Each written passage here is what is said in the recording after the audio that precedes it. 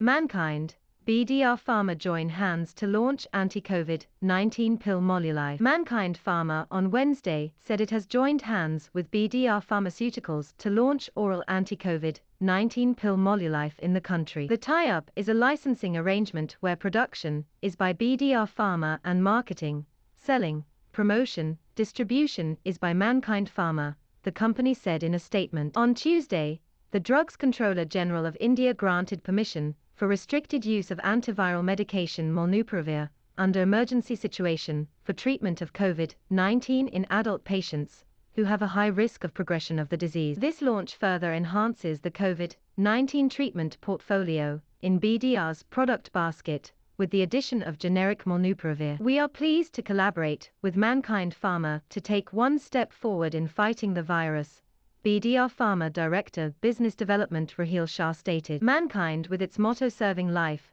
will make Molulife available in every nook and corner of the country, he added. The company focuses on providing a range of medicines for the management and treatment of COVID 19 in India, Koul said.